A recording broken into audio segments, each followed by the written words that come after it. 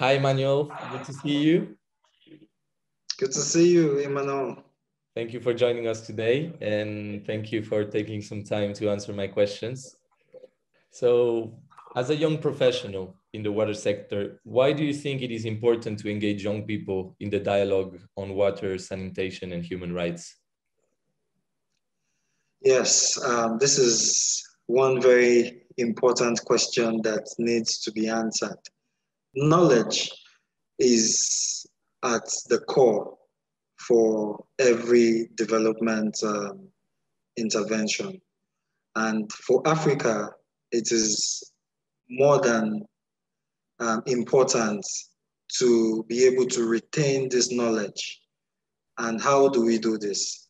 It can only be done if the knowledge that has been generated is efficiently and effectively transferred from one generation to another generation.